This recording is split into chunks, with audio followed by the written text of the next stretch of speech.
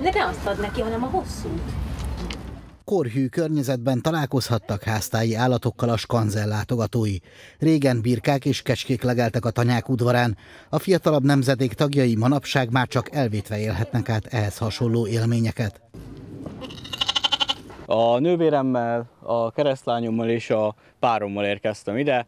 Igazából a kislány miatt jöttünk, a Sofia miatt, hogy körbevezessük, megmutassuk neki az itteni dolgokat, a láthatóságokat, mint például itt mellettünk is, hogy van kis szamár.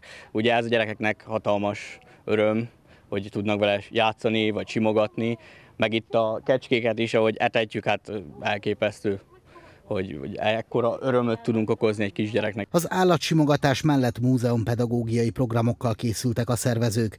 A gyerekek annak a mamutnak a történetét is megismerhették, melynek maradványait a régészek Zalaegerszeg környékén tárták fel. Egyre inkább látszik az, hogy azért változik a falusi életmód, és Emiatt nem csak a házi állatokról érdemes beszélnünk, hanem egy ilyen múzeumi környezetben azért sok minden van, amit emellett még el lehet mesélni.